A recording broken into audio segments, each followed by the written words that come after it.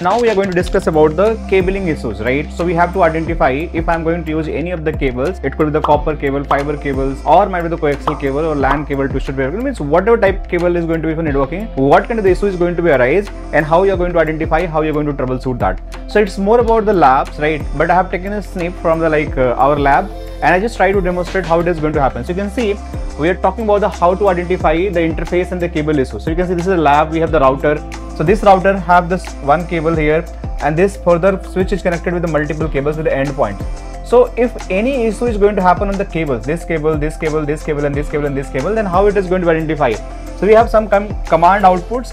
So I'll just demonstrate how we are going to identify. This is my lab topology. This is the OSPF lab. So probably you're going to get in the later stage how it is going to be used like uh, interfaces. If I just command show IP interface brief, show, show IP interface brief so above line is just explaining the same thing in the PBS PPT. So you are going to get a lot of information here. So now you can see if you just read the carefully this info information. So you're seeing the interface is administrative down means this is not up interface. It's a down. So I'll explain how it is going to make up in the configuration.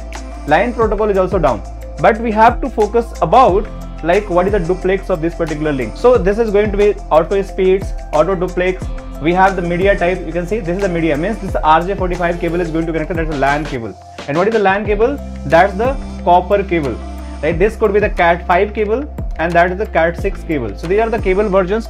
And you can see here there are also mentioned some kind of the input queue. Means how many packets we are receiving right?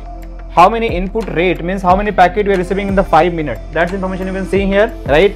And how many packet we send in the last 5 minutes that information also saying. We have the input errors right? We have the crc we have the frame overruns ignored packet so these are the things.